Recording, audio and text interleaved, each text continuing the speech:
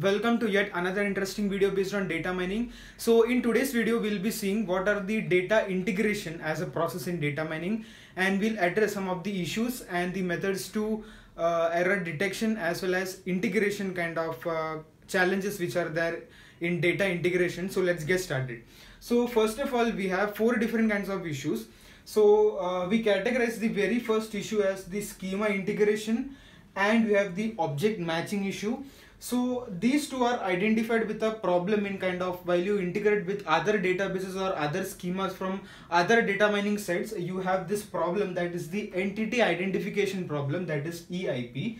Now what this problem is actually, uh, let's understand. So for example, let's consider that you have uh, two different tables or two different tuples in that in one tuple you have the attribute or the column as cust ID in uh, one DB or in one database and you have another DB which is having customer number.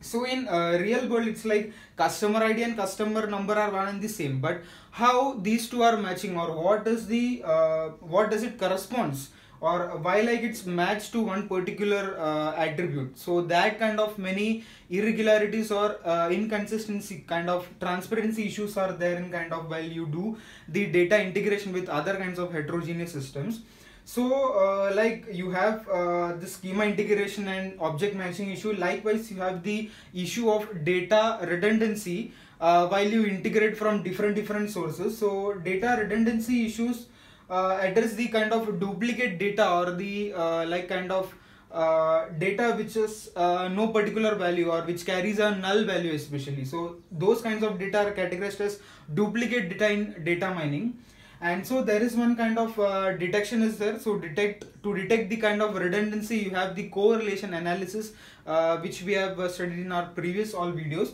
So you can do the correlation analysis to identify uh, what data is not matching where and how it's and all. So like for doing that you have a mathematical measure. Suppose you have two different attributes like a and b consider as two different columns for one different tuple. Then the correlation coefficient you can estimate. uh, and it can be computed by using the Pearson's product moment coefficient. So this is from the scientist Karl Pearson. You get this formula in mathematics also is used.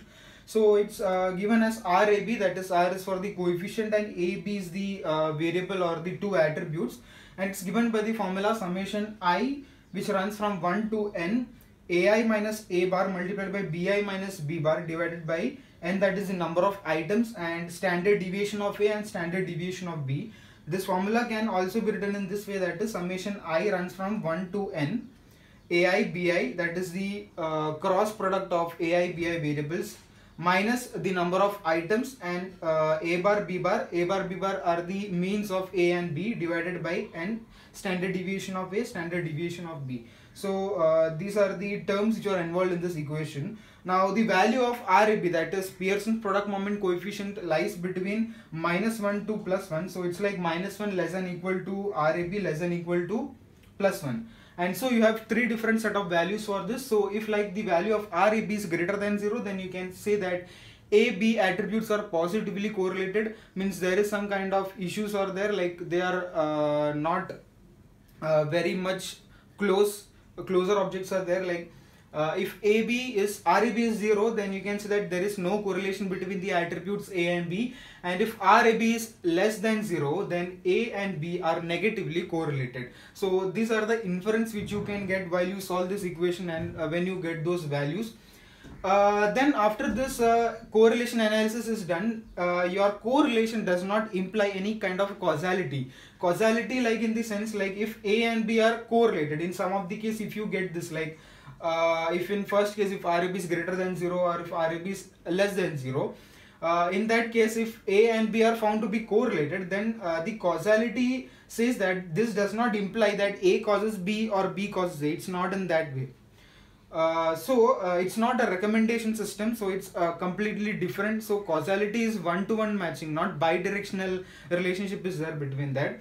And so for categorical data if you have categorical data in different different attributes from different data mining sites uh, you have correlationship between them in order to estimate between two variables. Like in that also you have two variables a and b then this does not go in this way uh, you can probably do a chi-square test uh, from Pearson that is Karl Pearson's chi-square test is also there so it's like a, you make a contingency table for that contingency matrix uh, which product or which item has the most frequent values and all.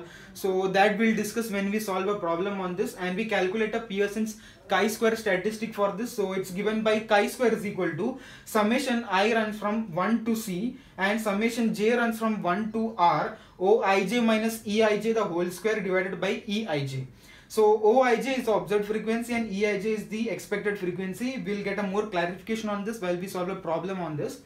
So, uh, so these are the uh, kind of issues discussed so far. Now we have issues of detection and resolution of data value conflicts.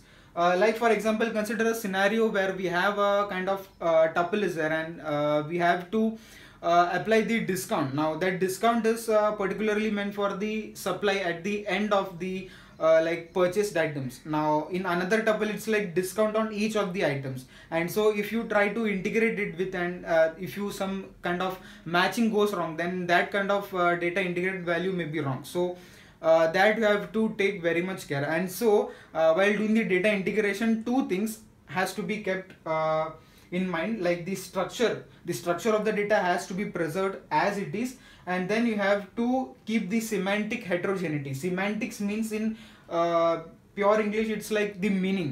So the meaning of that particular data from different different sources has to be same. It should not be different and it should not vary across uh, when you go with different measurements. Uh, like you have imperial units you have british units si units cgi units. So in that it should not verify. It should be kept as a standard medium. Throughout the like uh, if you uh, do some kind of uh, currency or trading so from different countries you have to lay a particular standard for that so uh, these two things that is structure and semantic heterogeneity must be paid attention the most to while matching attributes from one database to another database during data integration so uh, that's all about the data integration issues we have addressed in this video so far and the uh, different kinds of mathematical formulas. So hope you guys enjoyed this video. If you found this video interesting, please do like, share, comment and most importantly don't forget to subscribe to my channel. Thank you very much for watching this video.